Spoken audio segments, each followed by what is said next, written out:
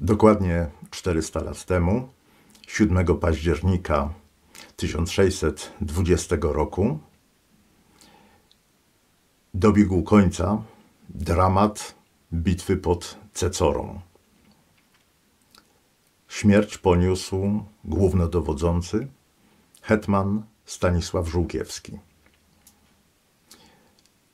Dramatyzm tych wydarzeń którego elementem było powtórzenie gestu Spartakusa, gdy Stanisław Żółkiewski przebił swojego konia szablą na dowód, że on nie ucieknie z pola walki.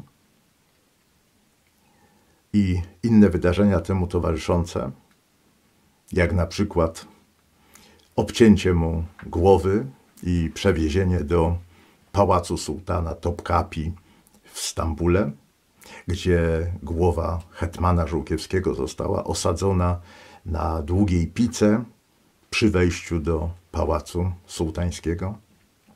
To wszystko pokazywało, że odszedł ktoś bardzo ważny. Podobno wcześniej w miejscu honorowym pałacu sułtańskiego na rozkaz sułtana został zawieszony jego portret jako największego dowódcy tamtych czasów. Ale zacznijmy od początku. W 1547 roku urodził się niedaleko Lwowa. Jego pierwszymi mentorami byli dalsi krewni zamojscy, a przy Janie Zamojskim zaczął robić, można powiedzieć, karierę. Do tej pory yy, przykładnie studiował, uczył się, Później e, pracował na dworze królewskim, był m.in. sekretarzem e, króla Stefana Batorego i piął się w hierarchii.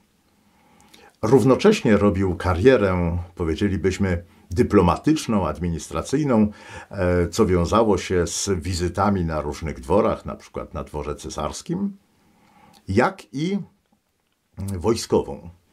Dość wcześnie został rotmistrzem, dowodził bardzo udanie. E, dostał też dosyć kontrowersyjną misję pojmania Samuela Zborowskiego. Jan Zamojski jako starosta miał prawo aresztować człowieka, który skazany był na banicję za to, że zabił w porywie złości e, w uroczystościach, które towarzyszyły koronacji Henryka Walezego Samuel Zborowski zabił senatora y, Wapowskiego. W 1584 roku na Zborowskim został wykonany wyrok śmierci. Miał w tym swój udział Stanisław Żółkiewski, wierny sługa Zamojskich i wierny sługa państwa polskiego był niewątpliwie państwowcem.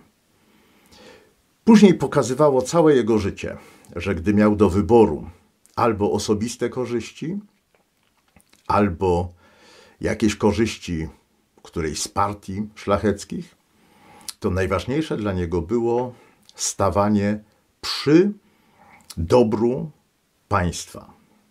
Tak zrobił na przykład podczas rokoszu zebrzydowskiego. Na dobrą sprawę wojewoda Zebrzydowski kontynuował politykę Zamojskich. Ale tu Żółkiewski nie mógł go poprzeć, a wręcz wystąpił przeciwko Rokoszanom i miał udział w uśmierzeniu tegoż Rokoszu, służąc państwu. A potem przyszły czasy chwały, największych zwycięstw, wśród których bitwa pod Kłuszynem doskonałe, wręcz doskonałe zwycięstwo z użyciem różnych rodzajów wojsk. No i skutki, jakże wspaniałe. Przywiezienie do Warszawy tych, którzy mienili się być carami rosyjskimi, a osadzenie na Kremlu kandydata polskiego jako cara, to wszystko rozsławiło hetmana Żółkiewskiego na cały świat.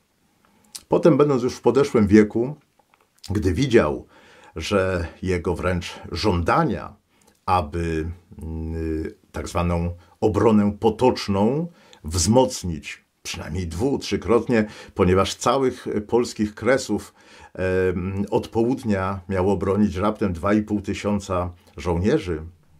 Stanisław Żółkiewski e, nawet szantażował Sejm i króla tym, że złoży rezygnację. Został wręcz uproszony, aby swoim autorytetem i swoim nazwiskiem nadrabiał wszystkie niedomagania finansowe i żołnierskie na tym polu.